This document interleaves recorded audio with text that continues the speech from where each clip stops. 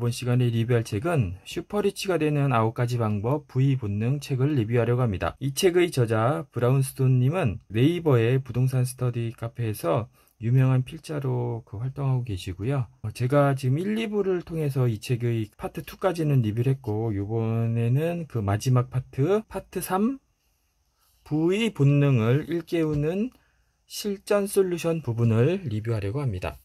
여기에서는 그 V 본능을 일깨우는 8가지 도구와 그 실패 유형별 맞춤 솔루션을 볼 거고요. 제가 리뷰하는 것 외에도 그 구체적인 내용이 많이 있기 때문에 이 책은 소장하셔서 그러니까 여러 번 읽으셔도 괜찮으실 만한 책인 것 같습니다. 그러면 파트 3 V 본능을 깨우는 실전 솔루션을 간략히 리뷰를 해보겠습니다.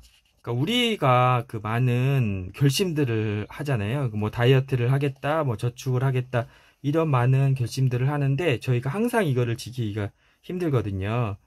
그래서 인간의 본능은 생각보다 강력하기 때문에 웬만한 사람의 자제력으로는 극복하기가 힘들다고 합니다. 그래서 부자가 되기보다는 본능에 따르기 이렇게 쉽다고 얘기를 하고 계시거든요. 하지만 그 수많은 재테크 책들은 이런 본능의 강력한 힘을 무시하고 그냥 하면 된다. 그 무대뽀로 해라. 뭐 그렇게 얘기를 한다고 해요. 하지만 우리가 그거를 몰라서 부자가 못된 건 아니잖아요. 그 실은 그 여러분 그리고 나 우리는 어떻게 하면 부자가 되는지는 이미 알고 있지만 머리와 입으로는 줄줄 꿰고 있다는 거죠. 하지만 단지 몸이 안 따라와줘서 문제지 하면 된다. 무대뽀 정신으로 앞만 부딪혀봐야 좌절감만 느끼는 게 이렇게 현실이라고 해요. 그래서 우리에게 정말 필요한 것은 그 본능을 극복하는 방법이라는 얘기죠. 그래서 저자는 그 수입의 30%를 저축하라는 슬로건 대신에 필요한 것은 소비하고자 하는 쾌락 본능, 근시안적 본능을 극복할 수 있는 실질적인 도구가 필요하다고 이렇게 얘기를 하고 계시거든요. 그래서 저자는 부자 되는 걸 방해하는 내면의 아홉 가지 본능을 극복할 수 있는 제가 요 전 시간에 부자 되는 걸 방해하는 아홉 가지 본능을 얘기했잖아요. 그거를 극복할 수 있는 8가지 도구를 찾았다고 합니다. 그리고 이 방법은 과학적으로 효과가 검증된 거고 누구든지 이 8가지 도구를 사용한다면 타고난 본능을 극복할 수 있고 부자가 될 수 있다고 합니다. 그래서 제가 이 8가지 도구를 봤는데 상당히 유용한 도구가 많더라고요. 그리고 NLP라고 해가지고 그 심리학적 그런 기법도 사용을 하고 계시고 다양한 방법을 얘기하고 계시더라고요. 그래서 인간 내면의 아홉 가지 본능을 극복할 수 있는 여덟 가지 도구를 활용하면 누구나 쉽게 부자되기 반열에 합류할 수 있다. 지금부터 하나씩 파헤쳐 보자. 자, 챕터 1은 부의 본능을 깨우는 여덟 가지 도구입니다. 부의 본능을 깨우는 첫 번째 도구는 신경 조건화하기입니다. 그러니까 인간의 행동을 바꾸는 방법에는 그 여러 가지가 있는데 예를 들어서 초콜릿 먹는 행동을 바꾸고 싶다면 한꺼번에 엄청난 양의 초콜릿을 먹어서 구토를 일으키거나 설사를 하면 된다고 합니다. 왜 그러냐면은 두뇌는 초콜릿과 고통을 연결시켜서 기억할 것이고 다시는 초콜릿을 먹고 싶은 생각이 들지 않게 될 거기 때문이라고 합니다. 이와 마찬가지로 그 돈을 쓰고 싶은 유혹이 있으면 돈이 없으면 겪게 될지도 모를 고통의 상황을 생각해서 돈을 쓰는 것과 그러니까 지출과 고통을 연결시키면 지출을 통제할 수 있다고 이렇게 하거든요. 그래서 자수성가한 부자들 중에서는 그 어린 시절에 극심한 가난을 경험한 사람들이 많은데 그러기 때문에 돈을 쓰고 싶은 욕구를 그 어렸을 때 힘든 시절을 생각하면서 이렇게 억제를 했다는 거죠. 그리고 저축을 하는 거를 그 저축을 하면 그 좋아하는 음식을 먹게 하거나 그다음에 아내로부터 칭찬을 받게 되거나 그런 생각을 해가지고 저축하는 것과 즐거운 보상을 연결시키면은 저축하기가 또 한결 쉬워진다고 합니다. 이런 방법이 효과가 있는 이유는 두뇌의 작동 원리 때문이라고 그러는데요. 그러니까 두뇌는 그 어떤 행동이나 경험에 대해서 단 두 가지에 의해서 결정이 된다고 해요. 첫째는 이것은 고통스러운 것인가 즐거운 것인가. 둘째는 고통을 피하고 즐거움을 얻으려면 어떻게 해야 하는가. 그래서 고통을 피하고 즐거운 일을 하려고 이렇게 한다는 거죠. 두뇌는 모든 경험을 고통과 즐거움으로 구분하고 이렇게 해서 고통으로 기억된 경험은 다시 하지 않도록 피하게 만들고 반대로 즐거움으로 기억된 경험은 되풀이하도록 지시한다. 그래서 하지 말아야 할 행동에는 고통을 반면에 바람직한 행동에는 즐거움을 연결시키면 우리는 본능을 극복하고 부자가 될 수 있다고 합니다. 그래서 첫째, 신경 조건화하기. 돈을 쓰고 싶은 유혹이 일 때마다 과거의 고통스러운 기억을 떠올린다. 네, 두 번째는 모델 따라하기입니다. 이 얘기는 그 성공을 하고자 하는 사람들이 꼭 따라야 될 건 것 같고요. 그 다음에 이런 거를 얘기하는 책도 많거든요.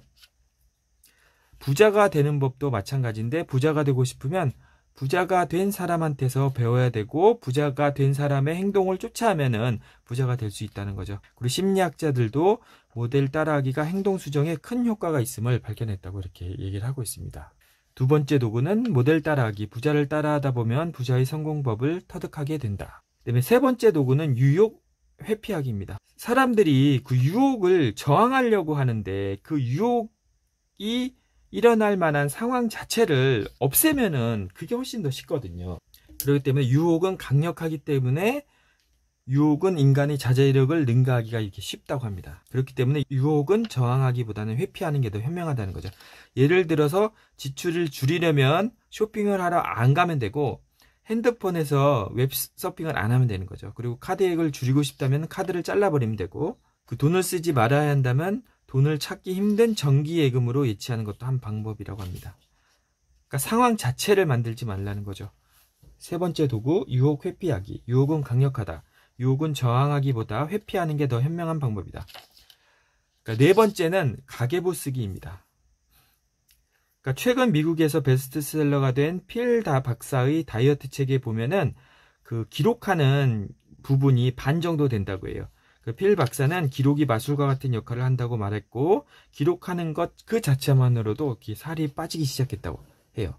그리고 심리학자들도 행동일기를 쓸 것을 권한다고 합니다. 그러니까 특별한 행동이 있었다면 기록하고 관계되는 상황과 결과에 대해서도 기록하고 전체적인 평가는 하루의 끝이나 주말에 하는데 이렇게 기록이 행동을 변하는 데 효과가 있다고 합니다. 그래서 부자가 되고 싶으면 가계부를 쓰라고 합니다. 가계부를 쓰는 것 자체만으로 소비를 줄일 수 있고 지출을 줄일 수 있다고 해요. 그러니까 기록을 하는 동안에 미처 몰랐던 사실을 깨닫기도 하고 저축의 좋은 아이디어가 떠오르기도 하고 소비하고자 하는 본능을 더 잘 극복할 수 있게 한다고 합니다. 네 번째 도구 가계부 쓰기. 부자가 되고 싶은가 가계부를 써라. 단순하지만 강력한 방법이다. 다섯 번째는 작은 성공 체험하기. 그러니까 사람들이 어떤 목표를 정할 때 이렇게 크게 목표를 정하는 게 좋긴 해요. 그래서 뭐 10억, 뭐 100억 그렇게 정하는데 실패를 많이 했던 사람은 그런 큰 목표만 이루다 보면 성공의 경험이 없기 때문에 계속 좌절을 하게 되거든요. 그래서 부자가 되기 위해 필요한 것은 어마어마하게 큰 성공이 아니라 작은 성공의 체험이라고 합니다. 그러니까 작은 성공의 체험을 누적하다 보면은 큰 성공을 이룰 수 있다는 거죠. 조그만 성공이 자신감을 불어넣고 계속적인 성공을 불러일으킨다고 합니다. 그래서 그동안 재테크에 실패한 사람은 스스로 작은 성공을 체험하도록 하는 게 중요하다고 해요. 그래서 돈을 저축하는 데 실패한 사람은 아주 낮은 목표를 세우라고 합니다. 일주일 동안 얼마를 모으겠다는 계획을 세우고 달성하라고 합니다. 그 성공을 만끽해야 그 성공하는데 원동력이 된다고 합니다. 다섯 번째 도구, 작은 성공 체험하기. 부자가 되기 위해서 필요한 것은 어마어마하게 큰 성공이 아니라 작은 성공의 체험이다. 그 다음에 여섯 번째는 서약서 쓰기입니다. 이것도 자기개발서적 같은 데 많이 나오는데 자기가 하고자 하는 거를 글로 쓴 다음에 그걸 계속 보는 거죠. 그래서 근데 이 서약서를 쓸 때는 첫째 마음속의 결심을 문서 형식으로 꼭 표현을 해야 되고요. 구체적인 숫자로 표시된 목표와 달성 시간 계획표가 포함되어야 된다고 합니다. 둘째는 주변의 친구와 가족들에게 이 서약서를 발표하라는 거죠. 그리고 가족들에게 목표 달성에 협력하겠다는 서약까지 받으면 더 좋다고 하고요. 마지막으로는 목표 달성과 진도표를 만들어서 눈에 잘 띄는 벽에 붙여 놓아서 스스로 압박하는 게 중요하다고 합니다. 여섯 번째 도구, 서약서 쓰기. 서약서 쓰기는 금연도 성공시킬 만큼 강력하다. 일곱 번째는 진실 파악하기입니다. 그러니까 인생이란 자동차를 운전하는데 우리는 믿음이라는 창을 통해서 세상을 보고 인생을 살아간다는 거거든요. 그러니까 자신의 눈을 통해서 세상을 보는 거죠. 그런데 이런 눈을 통해서 보는데 눈이 세상을 왜곡돼서 보면은 결과도 나쁘게 일어날 수 있다는 거거든요. 그래서 우리의 믿음의 창에는 흔히 잘못된 믿음이 끼어 있는데 이것을 벗어내고 진실을 파악하는 게 중요하다고 합니다. 예를 들어서 차트를 통해서 미래를 예측할 수 있다는 믿음, 모르는 것도 알고 있다고 확신하는 믿음 등이 이렇게 잘못된 믿음이라고 합니다. 이런 거를 걷어내고 진실을 파악해야 된다고 합니다. 인간의 행동이 변화되려면 진실을 제대로 보아야 하고 진실을 보지 않고 환상을 본다면 우리는 엉뚱한 행동을 하게 될 것이고 잘못된 결과를 이끌게 될 거라고 합니다. 일곱 번째 도구 진실 파악하기. 잘못된 믿음은 자신을 해롭게 한다. 여덟 번째는 신에게 기도하기입니다. 저자도 당신은 이 처방에 의심을 가질 수도 있, 다고 이렇게 얘기를 하거든요. 과연 신에게 기도하는 게 도움이 될까? 하지만 저자의 답은 그렇다입니다.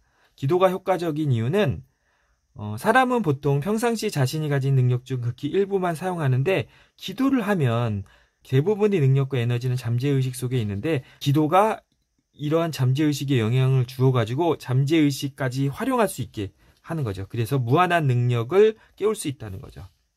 그래서 기도를 통해서 당신은 내면에 잠재되어 있는 무한 능력을 끌어낼 수 있다고 합니다. 많은 성공한 사람들은 기도를 통해서 사업에 대한 새로운 용기와 아이디어를 얻었다는 증언이 많이 있고 본인은 그걸 사실이라고 믿는다고 하고요. 인간은 신에게 기도함으로써 열등감, 패배감, 죄의식, 두려움을 극복할 수 있다고 합니다.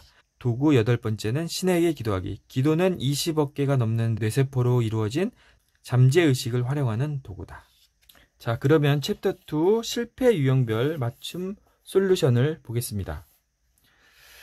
여기서는 그 여러 가지 타입별로 그 어떻게 그 아까 설명한 그런 그 도구를 사용할 수 있냐를 얘기하고 있거든요. 그래서 빚내서 소비하는 유형은 빚은 가난한 사람의 공식이라고 하거든요. 그래서 왜 그러냐면 부자가 되려면은 오늘 투자해서 내일 수확을 얻어야 되는데 빚을 내는 거는 내일의 종잣돈을 끌어다가 오늘 써버리는 것이라고 해요. 그래서 부자가 되는 현금 흐름과는 완전히 정반대이기 때문이라고 합니다. 그래서 돈을 모으는 것보다는 빚을 먼저 갚는 게 우선이고요.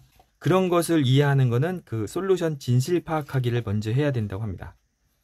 그래서 빚이 있다면 빚의 원인을 찾고 왜 당신이 빚을 지게 되었는지 원인을 이렇게 기록하라고 하거든요. 이거는 가계부 쓰기 솔루션을 그 적용하면 되고요. 그 다음에 주변 사람들에게 자신의 빚을 공표하라고 해요. 그래서 자신이 빚을 갚겠다고 결의를 다져야 된다고 하거든요. 이건 서약서 쓰기. 그래서 빚이 많은 경우는 일단은 신용카드부터 없애라고 합니다. 신용카드부터 없애고 그 다음에 당신이 믿는 신에게 도움을 요청하라고 합니다. 기도하고 좌절하지 않고 다시 일어설 용기를 달라고 이렇게 기도를 해야 된다고 합니다. 그래서 빚을 줄이는 데 도움이 되는 솔루션은 진실 파악하기, 가계부 쓰기, 서약서 쓰기, 신에게 기도하기. 네, 두 번째 타입은 내 집 마련이 막막한 유형. 그러니까 많은 사람들이 본능 때문에 집을 사기가 꺼려지게 되는데요. 그러니까 내가 산 뒤에 집값이 폭락하면 어떡하지? 그 다음에 빚을 내서 집을 사면 위험하니까 돈을 다 모아서 사, 사야지. 그런 생각을 갖게 되는데 이거는 다 손실 공포 본능 때문에 벌어지는 일이라고 하고요. 그 다음에 한 군데서만 계속 살아서 나, 다른 군데는 집값이 잘 오르는데 자기는 그 계속 한 곳에만 있어서 손해 본다는 사람들인데 이거는 영토 본능 때문에 그렇게 손해를 보는 거고요. 그 다음에 자기가 살던 재건축 아파트가 좁고 낡아서 불편해서 새 아파트로 이사를 갔더니 새 아파트는 안 오르고 재건축 아파트만 엄청 올라서 손해를 봤다고 해요. 이거는 더 좋은 때에 살아서 편하게 살려고 하는 쾌락 본능 때문에 그렇다고 하거든요. 그러니까 이런 식의 여러 부자가 되는 본능을 맡고 있는 게 있다는 거죠. 그래서 내 집 마련을 빨리 하기 위해서는 어디에 초점을 맞춰야 되는지 얘기를 하고 있거든요. 첫째는 위치, 둘째도 위치, 셋째도 위치. 즉, 위치가 좋은 부동산을 사라는 거죠. 그러니까 한 채를 살려고 하는 사람이면은 타이밍을 너무 재지 않고 내 집 마련을 하는 게 가장 좋다고 해요. 그러니까 부동산에는 막차는 없다. 지금 떨어지더라도 장기적으로 보면은 집값은 항상 올라왔기 때문에 설령 지금 잘못 샀더라고 해도 기다리면 회복된다고 합니다. 그다음에 집값을 결정하는 요인은 첫째는 학군이 좋아야 되고 둘째는 잠을 편히 잘 수 있는 것 그래서 쾌적해야 되고 직장에서 가까운 곳이어야 되고요. 셋째는 밥 먹고 살기 좋아야 된다고 합니다. 그, 즉 쇼핑 시설이 잘 되어 있어야 된다고 하고요. 여기서 계속 강조하는 게 자신이 지방에 살거나 아니면은 자기의 직장이 외곽이라면은 일단은 투자 유망 지역에 집을 사고 전세로 직장 근처에 살라고 이렇게 얘기를 하거든요. 그것도 아주 좋은 방법인 것 같아요. 그 다음에 무리하지 않는 범위 내에서 빚을 얻어서 살아. 즉, 이분은 그 매월 나가는 모기지 비용이, 그러니까 대출 비용이 소득의 30에서 40%만 되면 대출을 사용해서 집을 사도 괜찮다고 이렇게 얘기를 해요. 그 다음에 평수를 줄여서라도 부자 동네에 사는 게 결국에는 이득이라고 그렇게 합니다. 그 다음에 세 번째 타입은 돈복 없다고 자포자기한 유형. 이것은 실제 부자가 된 사람들은 못 배워도 부자 된 사람들이 많고 가난하게 태어나도 부자가 된 사람이 많다고 해요. 그래서 음, 가난한 집에서 태어나서 부자가 되기 글렀어 이런 생각을 하는 것보다는 부자가 되는 꿈을 생생하게 그리면서 그 노력을 하는 게 훨씬 중요하다고 하고요. 그러면은 현실이 된다고 합니다. 그러니까 결함이 있는 인식 체계는 현실과 상상을 구분하지 못하기 때문에 자신이 부자가 될 거라는 소극적이고 부정적인 인식은 스스로를 가난하게 만든다고 해요. 그래서 부자가 되는 비결은 부자가 될 수 있다는 적극적이고 긍정적인 믿음을 가지는 것이라고 합니다. 과거의 실패와 타인의 비평에 염두를 두지 말라고 합니다. 현재의 상황을 너무 비관적으로 생각하지 말고 긍정적으로 그 생각하는 그 진실을 파악해야 되고 그다음에 부자가 되고 싶다면 미래의 부자가 되어 있는 자신의 모습을 상상하고 부자의 모델을 따라하라고 합니다. 그래서 모델 따라하기. 그다음에 과거의 실패에만 사로잡혀 있지 말고 일주일 동안 작은 돈이라고 모으겠다는 목표를 세우고 달성한 뒤에 성공의 기쁨을 느껴야 된다고 합니다. 작은 성공 체험하기. 이렇게 돈복 없다고 생각하는 사람들을 솔루션은 진실 파악하기, 작은 성공 체험하기, 모델 따라하기가 필요하다고 하고요. 타입 4는 자신도 모르게 돈이 새는 유형. 이 분들은 소비의 쾌락을 고통으로 치환하라고 합니다. 이거는 신경 조건화하기, 그 다음에 적축에 성공하면 스스로에게 보상을 주고, 그 다음에 가계부를 쓰는 행동 자체만으로 돈을 절약하는데 상당한 효과가 있다고 합니다. 가계부 쓰기. 그리고 쾌락 본능 때문에 신용 불량자가 되기 때문에 그 유혹은 저항하기보다 회피하는 것이 좋은 전략이라고 합니다. 그래서 신용카드를 없애라. 유혹 회피하기. 그래서 자신도 모르게 돈이 새는 사람들을 위한 솔루션은 가계부 쓰기, 유혹 회피하기, 신경 조건화하기, 서약서 쓰기, 모델 따라하기를 적용하면 된다고 하고요. 월급이 적다고 한탄하는 유형은 다수성간 부자들 중에 처음부터 투자할 종잣돈이 하늘에서 떨어진 사람은 아무도 없다고 해요. 그래서 그들도 당신처럼 어려운 시절에 안 먹고 안 입고 이를 악물고 종잣돈을 모으던 시기가 있었다는 것을 기억하라고 합니다. 그러니까 진실을 파악하라는 거죠. 그래서 이것도 작은 성공을 쌓아가기, 그러니까 1년 동안에 천만 원을 모으겠다고 생각하면 용기가 날 것이고 행동으로 옮길 수 있다고 합니다. 그래서 처음에는 천만 원 모으기를 성공하는 게 아주 중요하다고 합니다. 그러니까 작은 처음 성공하기, 신경 조건화하기, 진실 파악하기, 사학서 쓰기. 그다음에 타입 6은 가난을 남 탓으로 돌리는 유형. 이거는 그남 탓하는 그런 게 있잖아요. 가난은 질병이고 가난은 전염병이기 때문에 병 걸린 환자가 자기의 병이 남 탓이라고 하면 안 낫잖아요. 그것처럼 가난은 자기 자신의 문제라고 이렇게 생각을 하는 게 중요하다고요. 그래서 그런 진실을 파악하는 게 중요하고 그 남탓만 하는 사람은 실패해서 배울 수 있는 기회를 스스로 차버리기 때문에 자기 자신의 탓이라고 하고 그 노력을 하라는 거죠. 그래서 진실 파악하기. 타입 일곱 번째는 재테크를 아예 포기한 유형. 그러니까 재테크는 어렵기 때문에 아예 시작조차도 안 하는 사람들이라고 하거든요. 하지만 무슨 일이든 처음에는 많은 힘과 노력이 필요하다고 해요. 처음에는 10단위 노력을 투입해야 1단위 성과를 얻을 수 있지만 다음에는 1단위 노력으로 10단위 성과를 얻을 수도 있다고 합니다. 처음 몇 년간은 재테크에서 성공하기가 어려운 게 정상이라고 해요. 그래서 이러한 진실을 파악하는 게 중요하고요. 여기서도 작은 체험을 하고 모델을 따라하는 게 중요하다고 합니다. 여덟 번째는 귀가 얇아 남의 말을 잘 듣는 유형. 이런 경우는 그러니까 무리 짓는 본능 때문에 그 옆집에 사는 사람들과 같이 뭐 쇼핑하러 다닌다거나 그런 걸 하지 않아야 된다고 하고요. 그래서 쇼핑하는 날짜를 정해서 혼자 쇼핑하는 것도 좋은 방법이라고 합니다. 서약서 쓰기. 그 다음에 이웃집의 소비 수준에 맞추려고 과소비를 하는 경우가 많은데 자신의 분수에 맞는 동네에 사는 것도 좋은 방법이라고 합니다. 유혹 회피하기. 그래서 나만의 행동 규칙을 세워서 투자할 때는 그거를 따르는 게 중요하다고 하거든요. 그래서 이거는 주식 투자할 때 되게 좋을 것 같아요. 많은 사람들이 주식형 펀드에 가입할 때 조심한다. 두 번째, 신문 뉴스에 주식 관련 기사가 많아지면 조심한다. 세 번째, 누군가가 투자로 돈 번 이야기가 화제가 되면 조심한다. 네 번째, 폭락할 때 팔지 않는다. 다섯 번째, 거래량이 적을 때 매입하고 거래량이 많을 때 매입하지 않는다. 여섯 번째, 누구나 좋다고 생각하면 다시 한번 생각해 본다. 일곱 번째, 모든 사람이 매입을 하지 못해 안다라면 그때가 가장 조심할 때이다. 여덟 번째, 모든 사람이 팔지 못해 안다라면 매입을 고려해야 한다. 귀가 얇은 사람을 위한 솔루션은 서약서 쓰기, 유혹 회피하기. 그러니까 이거를 지금 실천하기 좋은 때가 지금이죠. 지금 우한 폐렴 때문에 그 증시가 엄청 폭락하고 있잖아요. 그러니까 이럴 때 한 번에 확 사는 게 아니라 분할 매수를 하면 좋은 매수 기회가 올 수가 있다고 이렇게 하는 거죠. 아홉 번째 타입은 한탕주의에 목매는 유형. 이거는 고래과 긴조의 거북투자법을 저자는 그 실천한다고 하거든요. 그러니까 거북투자법이 뭐냐면은 첫째, 언제나 조금씩 천천히 벌겠다는 것이고, 두 번째는 절대 올인 투자하지 않는다는 것이라고 합니다. 그리고 투자한 다음에는 투자 대상을 주의 깊게 주시하고 체크한다는 거죠. 이거를 엄청나게 공감한다고 해요. 그래서 이거를 거북 세 마리를 책상에 모셔놓고 그 자기 투자를 감시하게 한다고 합니다. 이게 서약서 쓰기. 근데 5년 뒤에 당신의 자산이 얼마가 될지 계산해보고 생상하면서 기쁨을 느끼는 거죠. 이게 서약서 쓰기. 단기 매매를 주장하는 사이버 거래를 중단하라고 합니다. 유혹 회피하기. 타입 열 번째는 두려움 때문에 투자하지 못하는 유형. 그러니까 투자를 할 때 손해볼까 두려워서 못하는 사람들도 있고, 대출을 받으면 그 이자를 내고 대출을 갚지 못할까 하는 두려움 때문에 대출도 못하는 사람들이 많거든요. 그래서 신에게 기도하고 대가들의 조언을 청하라고 합니다. 신에게 기도하기. 종교를 갖는 게 이럴 때 되게 중요한 것 같아요. 그러니까 어느 순간 자기의 힘으로는 도저히 돌파할 수 없을 것 같은 벽에 딱 부닥쳤을 때 항상 신을 찾게 되는 것 같거든요.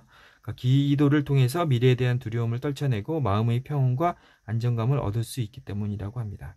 많은 성공한 사업가들이 종교를 통해서 미래에 대한 두려움을 이겨냈다고 고백한다고 합니다. 그리고 투자가 두렵다면 대가들이 책을 읽어서 대가들을 쫓아하려고 노력한다면 마음의 안정을 찾을 수 있다고 합니다. 그리고 위험에 뛰어드는 자만이 진정으로 자유롭고 투자를 하지 않는 것이 가장 큰 위험이라고 또다시 말씀을 하시고요. 부자가 되는 비결은 손해보는 걸 두려워하지 않는 데 있다. 두려움에 물들지 않고 투자할 수 있는 사람이 진정 자유로운 사람이라고 합니다. 이게 진실이라는 것을 파악해야 된다고 합니다. 자, 이 4차 산업혁명 시대 부자의 길은 그 각자 읽어보시면 될 것 같고요. 이렇게 어, 긴 시간 동안 이 책을 리뷰하게 됐는데요. 제가 생각하기에는 정말 이 부의 본능, 그 다음에 부의 인문학은 상당히 재테크나 주식 투자, 부동산 투자 하는데 기본이 되는 내용을 담고 있는 것 같아요. 그러니까 구체적인 실행 방법을 얘기하는 게 아니라 그 사람의 본능, 그 다음에 사람의 심리, 그런 거를 어떻게 하면은 부자가 되는 쪽으로 바꿀 수 있냐를 얘기하는 책인 것 같아요. 그러니까 결국에는 테크닉도 중요하지만 이 기본기가 탄탄히 갖추어 있어야 그 투자를 할 때 흔들리지 않고 그 장기 보유를 할 수가 있기 때문에 부자가 되는 것 같거든요. 그래서 이 책은 어, 제가 항상 얘기하는 거지만 도서관에 가서서 책을 빌려서 읽으셔도 되고 뭐 서서 읽으셔도 되고 서점 가셔도 보셔도 되고요. 제가 보기엔 이 책은 여러 번 다독하는 것도 되게 좋은 방법인 것 같아요. 왜냐면 책 같은 것도 한 번 읽고 시간이 지나면 다 까먹거든요. 그래서 자기가 마음이 흔들릴 때마다 이 책을 펼쳐가지고 읽으면서 마음을 가다듬으면 좋을 것 같고요. 이렇게 해서 장시간 동안 제가 부의본능의 그 리뷰를 마치도록 하겠습니다. 이번 영상이 도움이 되셨거나 다음 영상이 기대가 되신다면 좋아요와 구독하기, 알람 설정까지 해주시면 어, 너무나 좋겠고요. 그거는 제가 이 채널을 유지하는 데 큰 도움이 됩니다. 그리고 어, 좋은 내용이니까 남들한테 널리 이렇게 공유를 해주시기 바랍니다. 긴 시간 동안 시청해 주셔서 감사하고요. 다음 시간에도 더 좋은 내용으로 찾아뵙겠습니다. 감사합니다.